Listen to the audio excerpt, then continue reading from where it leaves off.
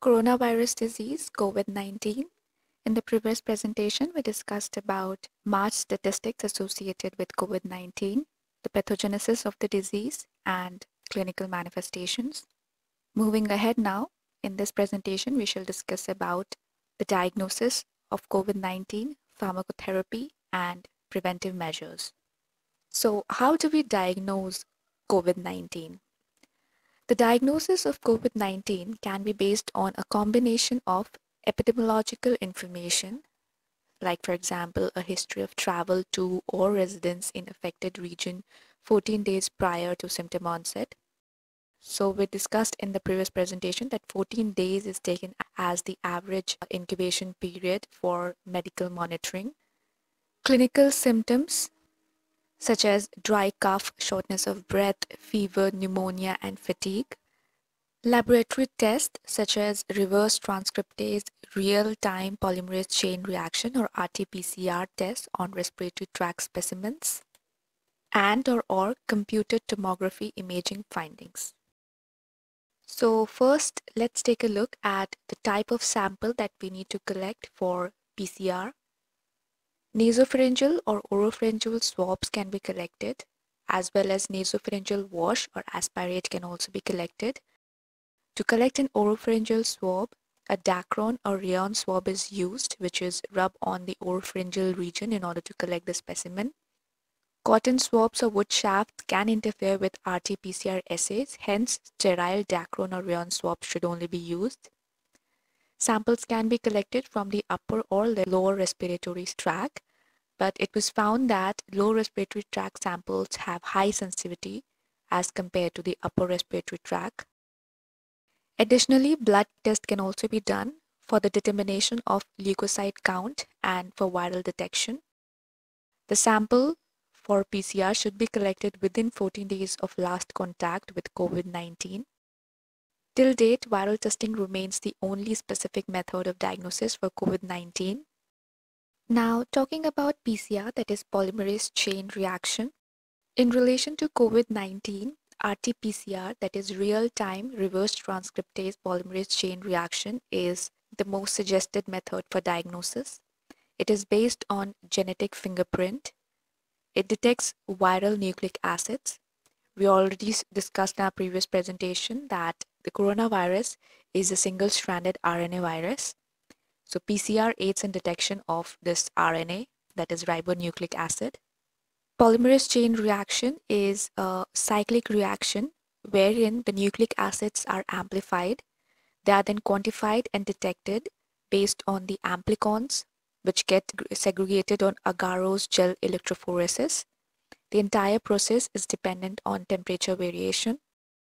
As compared to normal PCR in case of a real-time PCR, it uses fluorescent dyes or fluorescent labeled oligos.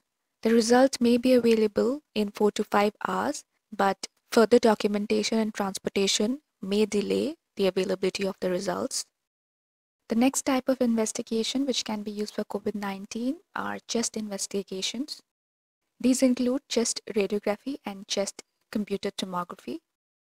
Chest radiography done on patients affected by COVID-19 demonstrated focal or multifocal unilateral ill-defined airspace opacities and further progressive multifocal consolidation over a course of 6 to 12 days. The findings seen in chest CT were predominantly bilateral ground glass opacity. Ground glass opacity indicates a partial filling of air spaces in the lungs by either an exudate or a transudate so we know that the lungs are made up of alveoli, which are the structural units of the lung. These alveoli are basically air-filled spaces. As COVID-19 disease progresses, these alveoli get obscured and they appear as ground glass opacities. As the disease progresses, bilateral segmental areas of airspace consolidation may be seen. Consolidation is a region of normally compressible lung tissue that has filled with liquid instead of air. It is marked by induration or hardening of a normally aerated lung. So this is a chest CT of a patient affected with COVID-19 exhibiting multifocal peripheral patchy ground glass opacities. No pleural effusion or cavitation is seen. This is another case where you can see multifocal round mixed ground glass opacities. It was also found that these opacities were, were predominantly seen in the peripheral region of the lungs. In the adjacent CT image, you can see this is a tree in bud sign seen in a few patients of COVID-19. Based on the investigative statistics, it was found that COVID-19 was more often found in men than in women in the studies conducted. A potential explanation for this finding may be protection provided by the X chromosome and sex hormones, which play an important role in innate and adaptive immunity. According to the American College of Radiology ACR recommendations, chest CT is not specific and overlap with other infections such as influenza, H1N1, etc. Hence, CT should not be used to screen for or as a first-line test to diagnose COVID-19. CT should be used sparingly and reserved for hospitalized symptomatic patients with specific clinical indications for CT. Management of COVID-19. Till date, specific drug for COVID-19 has not yet been found and the management primarily aims at, at supportive therapy such as antimicrobials and oxygen therapy, specific therapy for underlying conditions such as secondary diseases like for example kidney failure, hypertension and multi-organ involvement. Till date, no known effective antivirals have been identified for coronavirus infections. There are certain therapeutic agents which are under consideration for the treatment of COVID-19. There are four classes of coronaviruses designated as alpha, beta, gamma, and delta. The beta coronavirus class includes severe acute respiratory syndrome, that's SARS virus, Middle East respiratory syndrome, MERS virus, and the COVID-19 causative agent, that is SARS-CoV-2. Regarding the pathogenesis of coronavirus, in the previous presentation, we saw that coronavirus binds to the host cell via the spike proteins or S proteins, which undergoes a biochemical modification. This is the first step in the binding of virus to the host cell. The S protein of the virus binds to the ACE2 receptor on the host cell, that is angiotensin converting enzyme 2 receptor on the host cell. A recent study revealed that this invasion process requires S protein priming, which is facilitated by the host cell produced serine protease TMPRSS2. Additionally, the study also showed that camostat mesylate, which is an inhibitor of TMPRSS2 enzyme, it blocks SARS-CoV-2 infection of lung cells. Camostat mesylate is a drug approved in Japan for the treatment of pancreatitis and this compound or related ones with potentially increased antiviral activity could thus be considered for off-label treatment of SARS-CoV-2 infected patients. Other than this, remdesivir, which is developed by Gilead Sciences Inc., was previously tested in humans with Ebola virus disease and it has also shown promise in animal models for MERS and SARS. The drug is currently being studied in phase 3 cl clinical trials in both China and the USA. Production of various cytokines in response to an invading pathogen such as a virus contributes to the host organism's ability to eliminate the pathogen. During a viral infection, the most prominent cytokines produced produced are interferons, which interfere with viral replication. So because of their ability to interfere with viral replication, interferons and interferon fusion proteins have been utilized as therapeutic agents for treatment of viral infections for the past 20 years.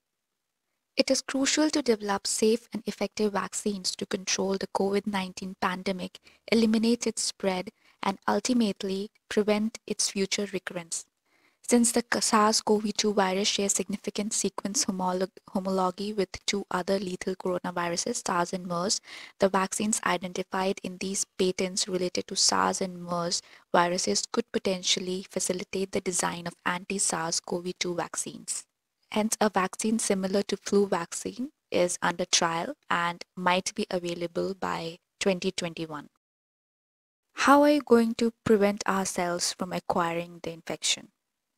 Soap destroys the virus when the water-shunning tails of the soap molecules wedge themselves into the lipid membrane and pry it apart.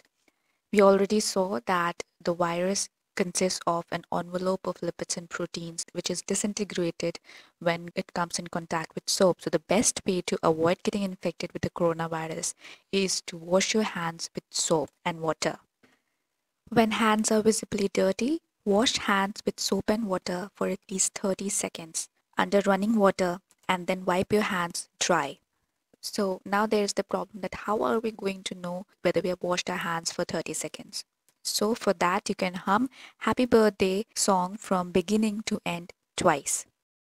When your hands are not visibly dirty, you can use an alcohol-based hand rub for about 20 seconds or you can wash your hands with soap and water.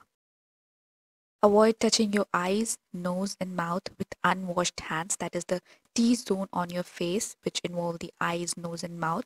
Avoid touching them with unwashed hands.